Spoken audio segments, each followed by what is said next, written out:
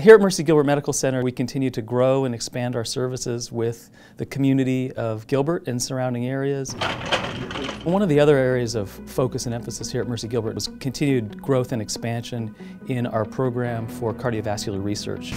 We now participate in over 20 clinical trials that are national and international in nature around the application of human stem cells in the treatment of cardiovascular disease. We are getting ready to kick off a 111,000 square foot addition. We continue to have a lot of clinical trials that we have open for individuals and many more are on the near horizon for us and we are just beginning to create our stem cell transplant and cellular therapy program. So uh, we're very excited about that as well. From my perspective, Gilbert is a fabulous place to work. It's a fabulous place to live and it's a terrific place to play.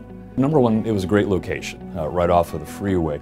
We also found Gilbert to be a very business-friendly uh, place to do business. I think Gilbert is and will continue to be a real hub of activity in the greater Phoenix area for years to come. They understand what it is that we're attempting to get done and a true collaboration that is for the good of everybody. And you know, with that attitude, uh, the sky's the limit. This is Gilbert. This is Gilbert.